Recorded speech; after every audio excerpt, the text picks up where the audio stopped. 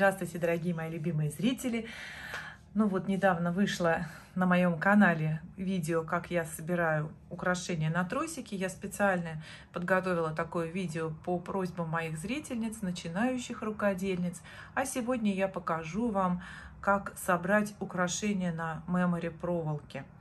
У меня есть вот такой винтажный кулон красивый, это нефрит, есть нефритовые бусины, они 10 миллиметров диаметром. Фурнитуру я подобрала а, вот эту латунную, это авторская Анна Бронза, и вот эта подвеска. Ну, а это я покупала в разных магазинах. И цепочка будет удлиняющая. Почему латунная? Потому что оправа у кулона а, тоже такого же латунного цвета.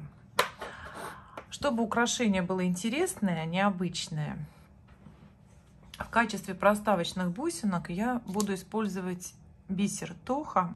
Это по совету моей подруги и а, просто великолепной рукодельницы Лены Кашигиной. Она покупает такой бисер и посоветовала мне. Вот, а, я вам показываю его данные. И буду использовать вот такой, такую memory проволоку. Я ее купила в торговом центре Севастополь, но я думаю, что она продается на Алиэкспресс. И сейчас я вам скажу, какой размер. Диаметр этой проволоки 12 сантиметров, а толщина 0,6. Это моя любимая проволока. Вот если один брать миллиметр, то это для меня очень толстая проволока, а 0,6 это самое оно. Вот то, что я использую. Я хочу кулон повесить на вот этот бейл, потому что мне показалось, что будет интересно. Ну, то есть можно просто было сделать кулон на бусах, но чтобы это украшение было необычное, эксклюзивное такое, авторское опять с вашей выдумкой, то можно использовать необычные бейлы. Я взяла вот такой бейл с тремя креплениями и хочу по центру подвесить кулон, а сбоку две бусинки. Вот так. И сразу, смотрите, эта подвеска становится, как будто она какая-то необычная древнеегипетская, византийская такая подвесочка. А единственное здесь такой нюанс. Посмотрите, крепление у кулончика идет вот в эту сторону, вот так, а у Бейла перпендикулярно наоборот. И поэтому здесь, чтобы соединить, понадобится не одно колечко, а два. А, есть у Анны Бронзы очень хорошие колечки, такие разъемные, но, к сожалению, у меня их сейчас в наличии нет. Поэтому я буду использовать двойные колечки, вот такие латунные. Ну, попробую соединить на них. А потом, когда появится возможность у меня приобрести а, фурнитуру Анны Бронзы, я тогда заменю на другие колечки, которые более подходят по дизайну сюда. Итак, первое, что мне нужно сделать, это подвесить кулон к бейлу я возьму колечко. Ну, я по старинке, ножницами. Не ругайте меня, а, мои постоянные зрительницы и мои рукодельницы, которые мне прекрасные советы дают. Я до сих пор никак не могу найти тот инструмент для разъема колечек, который я купила. Но я его ищу. Итак, ножницами я колечки вот так вот разгибаю. Вот, и теперь мне туда надо поставить кулончик. Все, вынимаю ножницы. Мне как-то ловко получается, вы знаете, прям удобно мне. И ножницы такие, они еще советские, видите, крепкие. Так, теперь мне нужно вот так колечко это сюда прокрутить. Вот, и еще одно колечко я надену и соединю уже с бейлом. Так, уже почти соединила. Сейчас прокручу. Вот, и получается у меня а, вот такой коннектор. Кстати, он двухсторонний. Можно на эту сторону, а можно на эту сторону его носить. Какая больше нравится. Вот. Ну, по-моему, красиво с этими колечками. Такой прям получается вид у него, как будто это цепи старинные.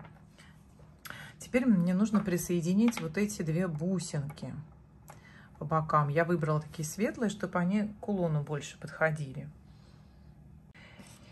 Итак, вот у меня э, пины.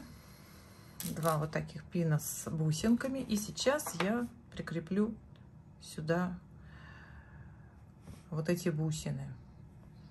Надену их. Теперь что мне нужно сделать? Мне нужно сделать петельку. Я делаю петельку. Сначала отгибаю в одну сторону, потом вот так в другую. Вот, заворачиваю. И я буду присоединять прям сразу петельку а, вот сюда, к этому бейлу, без колечка. Хотя можно с колечком, но дело в том, что у меня, видите, чтобы бусинки не касались кулона, мне надо. Вот она как раз вот-вот, один миллиметр не касается кулона. Вот так я прикрепила. Теперь моя задача закрутить а, вот эту петельку. Закручиваю. Ну, как обычно, обхватываем здесь круглогубцами и закручиваем. Кстати, можно, видите, руками все сделать без второго инструмента. Просто я боюсь эту бусинку повредить. Так.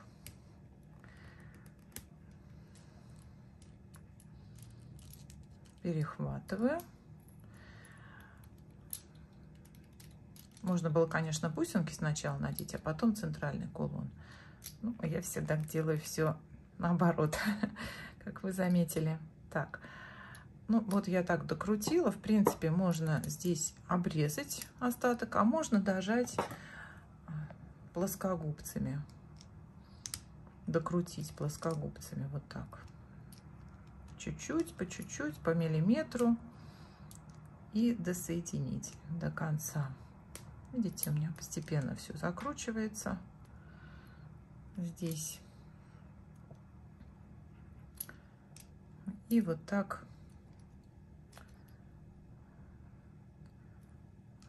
в конце вот так вот я его прижимаю.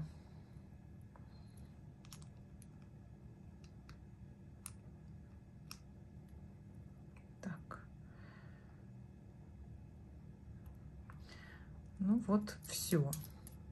Одну бусинку я надела. Получилось у меня вот так. И вторую бусинку я сейчас уже надену ну, точно так же, поэтому показывать не буду. А, кулон готов. Посмотрите, какой он получился. А, давайте я поближе покажу, чтобы вы разглядели, как сделаны все крепления. В общем, вот так. Вот бусинки. Очень хорошо справа-слева находится от кулона. А, в общем-то, все мне нравится. Так, теперь нужно а, взять мемори проволоку и отрезать один виток. Но я всегда отрезаю чуть больше. Вот один виток, вот, вот так примерно. На глаз, конечно же. Хотя можно все и отмерить по желанию, если какой-то заказ, вы отмеряете, плюс добавляете ну, примерно по 2 сантиметра, по полтора сантиметра на то, чтобы сделать двойное колечко на конце. Так, я откусываю.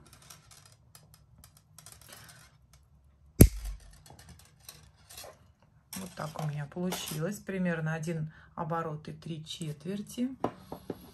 И Теперь мне надо все нанизать. Начинаем нанизывать кулон. Но сейчас смотрите, какой будет момент. Отверстие у Бейла очень большое. И чтобы оно не провисало, мы сейчас внутрь будем ставить бусины. Эти бусины, это могут, может быть бисер, это может быть, могут быть какие-то ненужные бусинки.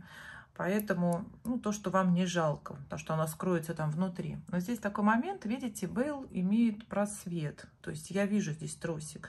Поэтому я, конечно же, внутрь буду ставить бусины такого же цвета.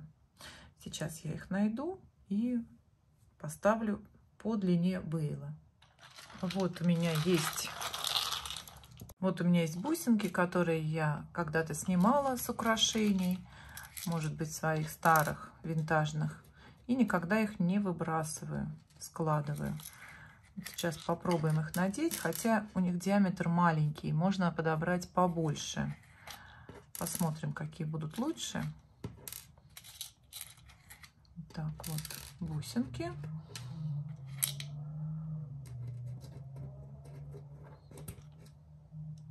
Ну что, начинаю нанизывать маленькие бусинки.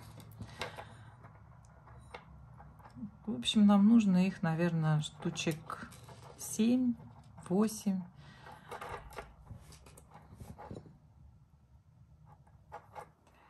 Посмотрим, как они туда прячутся. Ну, в общем, я думаю, что я на них и остановлюсь. А вот, смотрите, вот они, бусинки. И сейчас мы их туда прячем внутрь. А, по-моему, еще можно добавить парочку. И смотрите, они оттуда изнутри как бы немножечко сверкают. И в то же время проволочка не так провисает, уже все держится более надежно. А, так, ну теперь начинаем процесс сборки. Но прежде всего вы должны решить для себя, какие бусинки вы поставите, как их поставите. Можно сначала все это разложить, да, но здесь неудобно, надо на полотенце. Можно сразу попробовать нанизывать и менять, как вам будет удобно, да. Это уже каждый решает для себя. Да, кстати, чтобы не были одни только бусинки, я хочу использовать вот эти проставочные маленькие такие диски, что ли, как их назвать, лепешечки. И хочу также использовать шапочки. Я очень люблю маленькие шапочки. Вот это мои прям самые-самые любимые, такие меленькие шапочки. А покупала я их в магазине а, всем бусинки, по-моему, да, всем бусинки называется этот магазин такие. Ну, я думаю, что они на Алиэкспресс продаются. Крошечные, прям вот я их люблю очень. Кстати, из них можно составлять а, из нескольких шапочек, например, из трех, составлять такую красивую шапочку, то есть как трансформер, сами можете придумывать. Ну и, конечно, попробую, если, если отверстие позволит, то попробую использовать бисер, хотя он может не попасть на тросик. Так, ну сейчас попробую одну сторону сочинить и показать вам. Смотрите, что у меня получилось. Я собрала две стороны немножечко по-разному, потому что так я думаю, какая лучше.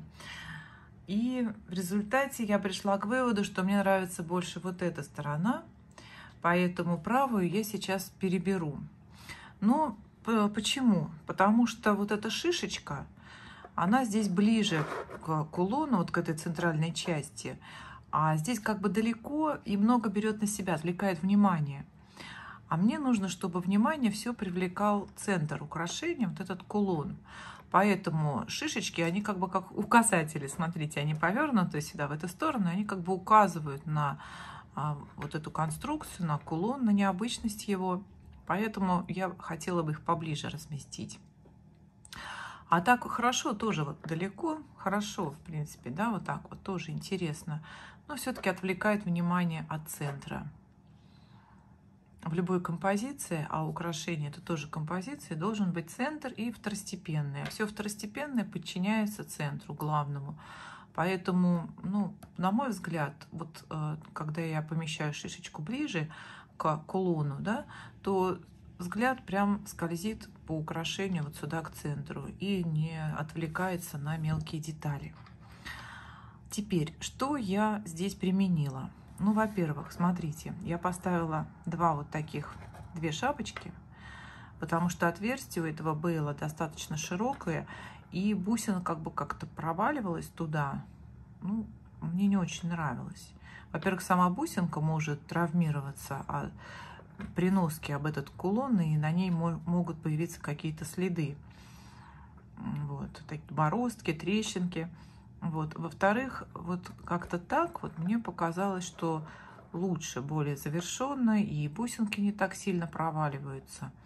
Поэтому я поставила шапочки как стоперы здесь.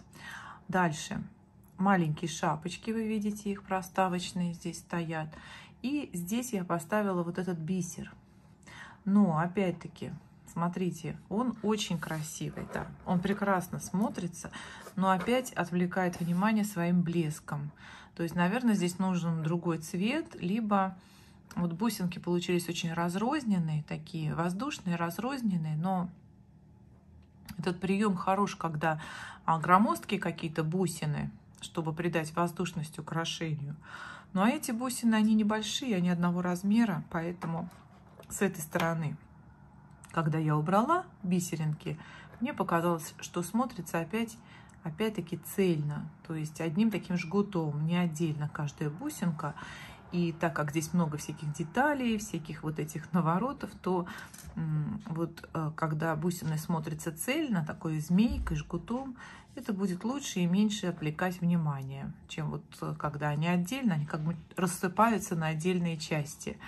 А цельность в композиции – это еще одно правило, еще одна вещь, которую желательно соблюдать. Вот. И когда вот так рассыпаются здесь бусинки на отдельную, а, то все так вот раздрабливается, дробится вся композиция. Поэтому бисеринки я уберу, оставлю, его для, оставлю их для другого украшения. Еще один момент. Да, вот, кстати, шапочки я поставила только с одной стороны. Тоже как указатели, чтобы бусинки как бы стекались сюда к центру. Вот все шапочки с одной стороны. Теперь шишечка. Она имеет вот такое большое отверстие. Тут такая дырочка. И если я поставлю ее вот просто к этой шапочке, то она ее просто закроет. Поэтому, ну, чтобы как-то немножко отделить ее, я поставила в окружение шишки бусинки. Это матовый синтетический гематит, вот эта бусинка. А с другой стороны я поставила колесико вот это, вот такую бусинку. Почему я не поставила ее здесь? Потому что здесь она стала бы криво. У шишки а, неровные края, и бусинка бы ну, как-то наклонилась, стояла бы не очень ровно. А вот эта маленькая бусинка, она прямо уходит туда в сердцевинку. И смотрится очень хорошо, эффектно. И бусинка вот эта держится хорошо. Ну, вот это вот э, небольшие такие нюансы, которые я вам сейчас описала. Ну, чтобы был какой-то здесь перерыв, такой небольшой, я здесь тоже, вот видите, колесико это поставила ну так, такой незначительный разрыв между бусинками 3 и 3, вот так получается. Еще дальше пойдут 3 бусины. Ну все, выбираю я левую часть, левая часть мне нравится больше. Сейчас переделаю правую часть и дальше завершу бусины точно так же, а, завершу это колье точно так же вот этими бусинами. В принципе, здесь можно поставить силиконовый шнур, но желательно, конечно, чтобы он был зеленый. Зеленого у меня нет, у меня черный, черный, наверное, будет отвлекать. Поэтому я бусин много, я поставлю бусины до самого конца колье. Ну вот, я набрала обе стороны. Вот такое получилось украшение. Осталось мне только замочки повесить. А, здесь получается такой у меня такое чередование. Три бусинки немножечко разделяются вот этой плоской бусиной. Дальше еще три, еще, еще и одна. И в конце я поставила вот рядок таких плоских бусинок, чтобы было какое-то завершение у этого украшения. Теперь смотрите, мне нужно оставить здесь примерно 2 сантиметра, ну или полтора чтобы сделать колечко из двух оборотов. Почему из двух оборотов? Потому что так оно надежнее. При носке украшения оно уже не разомкнется, это колечко, когда оно будет двойное. Итак, я беру, я беру кусачки. Здесь примерно вот так 2 сантиметра оставляю. Так. И смотрите, как я закручиваю. Я закручиваю конец проволоки против ее изгиба. Вот изгиб в эту сторону, значит, закручивать буду вот сюда, в эту сторону, в обратную. Итак, беру край. Так, сейчас настрою, чтобы было видно. Беру край и начинаю закручивать.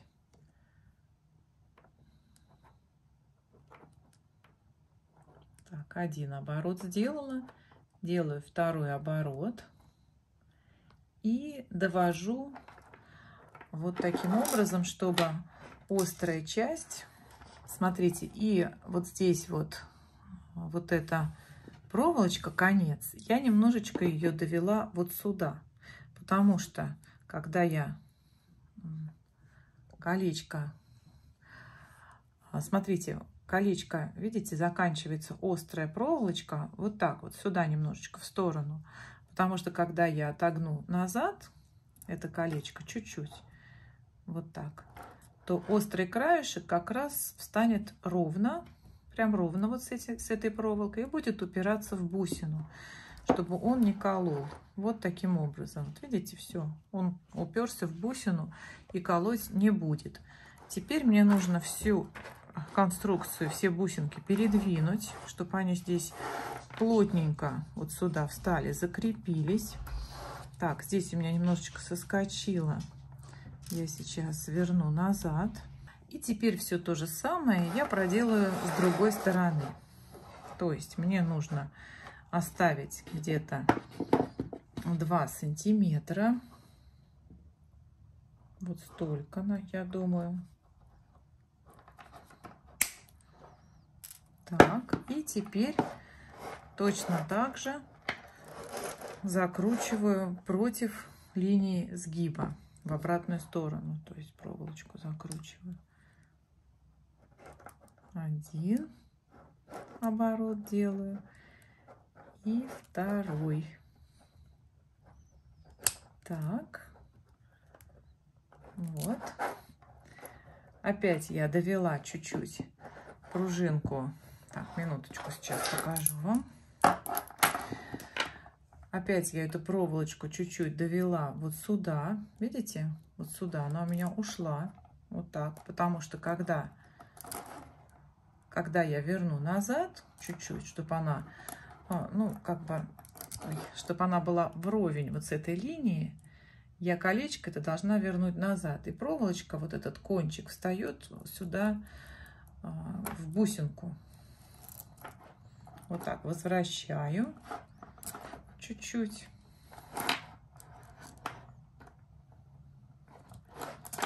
Вот, видите?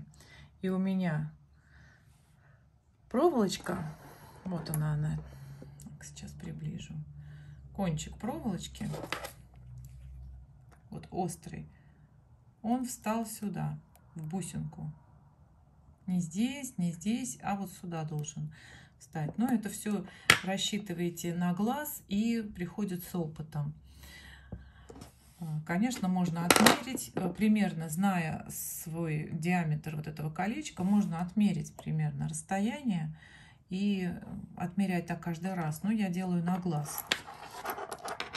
У меня на глаз получается, что я вроде бы попадаю а, в нужный размер. Так, вот а, такое украшение получилось. И сейчас мне нужно поставить замочек на вот такие колечки я буду ставить. Итак, беру маленькое колечко двойное.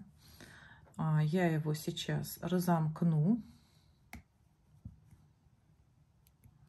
Так, и надену а, вот сюда на один конец. Потихонечку зацеплю его, надену. Так, и сюда мне нужно еще надеть замочек. А замочек я э, надеваю вниз вот этой частью, которая открывается вниз. Так.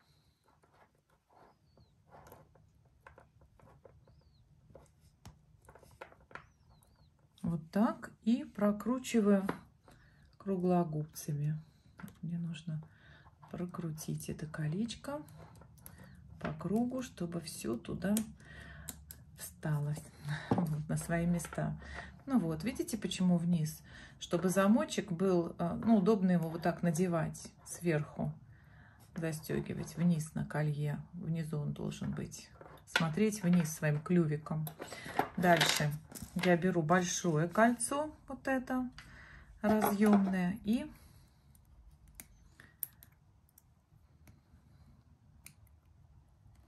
надеваю, а, надену сначала на него цепочку удлинительную. Вот это у меня будет цепочка. Сейчас я ее укорочу, она не такая длинная должна быть.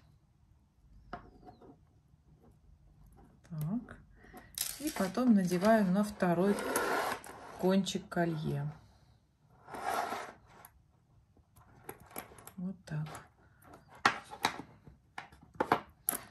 Все прокручиваю, ну даже может быть руками хорошо прокручивается. Все. Так. Теперь мне нужно укоротить колье, укоротить цепочку. Она очень длинная. А сколько звеньев мне оставить? Ну, оставлю, наверное, 6. 6 звеньев или 5, может быть. Ладно, оставлю 6.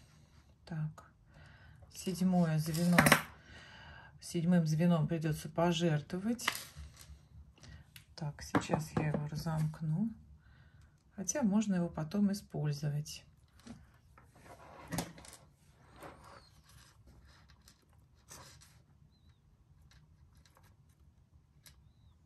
Так, снимаем.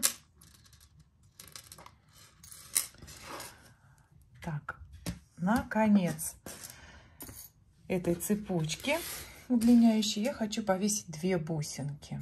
Одна бусинка у меня будет вот эта фурнитура Анны Бронзы, а вторая бусинка у меня будет зелененькая, Оникс. Или, может быть, знаете как, зелененькую бусинку я повешу повыше, может быть, вот здесь. Сейчас подумаю. Повешу я их тоже на двойные колечки. А эту бусинку, на нее я надену пин.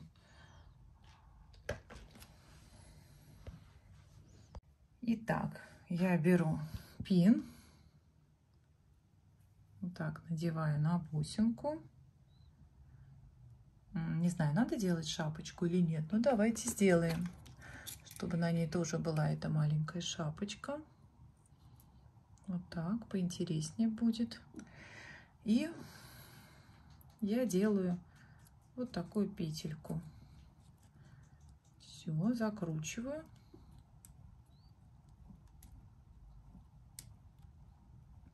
Так лишний кончик отрезаем.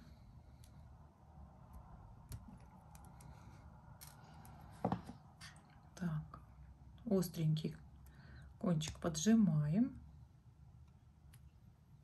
Пробуем. Так, бусинка готова. Вот такая она красотка получилась. И теперь надо надеть ее, ее и вот эту бусинку на удлиняющую цепочку. Одну мы надеваем наверху.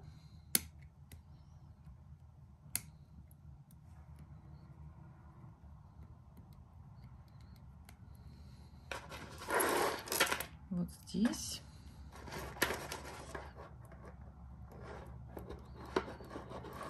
Так.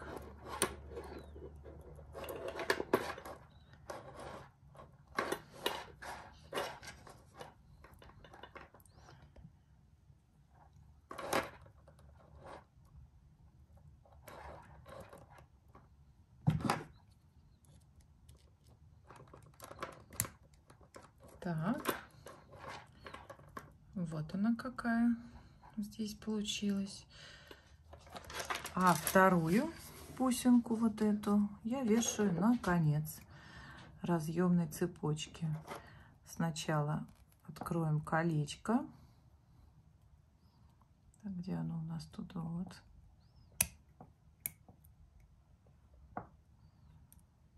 Так, откроем колечко наденем бусинку и наденем цепочку.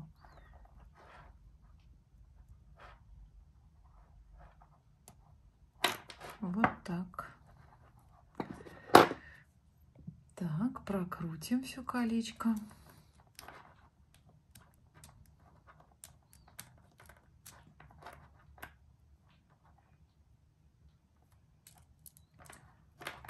так получилось. то если оно сильно открывается, это колечко двойное, я его вот так немножечко возвращаю назад. Вот так. Как бы пружинку эту.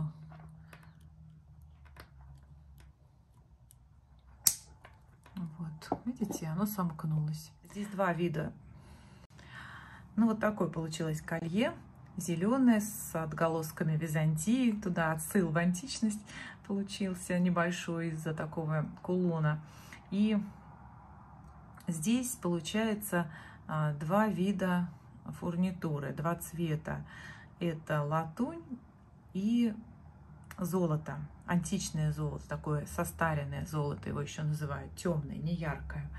И они прекрасно очень сочетаются, и вообще металл имеет блеск, поэтому когда а, вот здесь, например, цепочка и вот это кольцо цвета латунь, а memory проволока цвета золота, то кажется, что это один металл, один цвет просто отблескивает. Ну вот как металл блестит где-то ярче, где-то темнее, поэтому здесь создается полное впечатление, что просто где-то он сверкнул ярче, этот металл, а где-то чуть темнее, приглушенно. Ну, давайте посмотрим теперь колье вертикально, и на этом я буду завершать этот видеоролик. Ну вот, смотрите, как оно смотрится так интересно.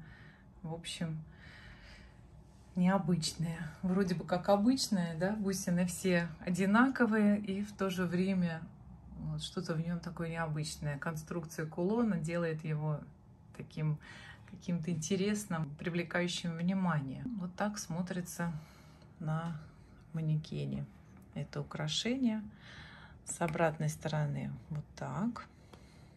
Очень красиво, когда две бусинки сзади. Тоже привлекает внимание. Вот. Можно его сделать подлиннее за счет цепочки. А можно оставить так. В общем, ничего сложного нет. На мемори проволоке украшение всегда собирается быстрее, чем на тросике. Ну вот у меня во всяком случае. Потому что не надо крепить вот эти кримпы и обжимные бусинки, все такое там очень маленькое. А здесь сложность только загнуть проволочку аккуратно сзади. Ну и все. А все остальное легче. Ну вот такое колье получилось. Кстати, можно носить его и по-другому, наоборот. Вот так. Вот здесь как бы такой появляется знак круглый, напоминающий скоробей, или какие-то глаза тут, в общем, видны. Что-то может быть отсыл к какому-то лесному царству, потому что шишечки здесь есть, присутствуют. Вот, возможно, что это украшение похоже на такие времена Робин Гуда, может быть, кому-то покажется. Такое зеркало из... Знаете, у кого было зеркало из зеленого камня. У императора Нерона, у римского императора Нерона а, было зеркало, ну такое стекло, не зеркало, а стекло зеленое, через которое он смотрел на бой гладиаторов, чтобы не видеть вот, а, цвета крови. Вот. Ну вот что-то такое древнее. Вот этот кулон, он сам по себе такой, как зеркала, как стекла какие-то зеленые, а, тех вот ну, что-то напоминает именно те времена. Не знаю, какой-то такой история сразу вспоминается. Историческое колье получилось. Вот. Напишите, как оно вам. А, тоже монохромное получается. Вообще один здесь цвет присутствует, один цвет камня. А, вот даже оттенков почти нет. Чуть-чуть кулон светлее бус, но в целом вот прям один цвет. И смотрится вот тоже очень интересно, так строго. Вот. Что напоминает вам это колье? Давайте придумаем название, может быть, для него. Напишите ваши отзывы, ваши комментарии. Я буду вам очень благодарна. Надеюсь, что я помогла начинающим рукодельницам, выпустив эти два видеоролика, как собрать бусы на тросик ювелирный. Это было предыдущее видео. И сегодня как собрать колье на мемори проволоке. А если еще есть у вас какие-то пожелания или просьбы, пишите, я постараюсь подготовить видео. А, просьбу про ритм в украшениях я услышала, подготовлю. Это, конечно, будет, а, надо подготовиться основательно к этому видео обучающему. и обязательно вам расскажу все, что я знаю, такой небольшой свой опыт поделюсь с вами. Всего доброго вам всем, до свидания, до новых встреч.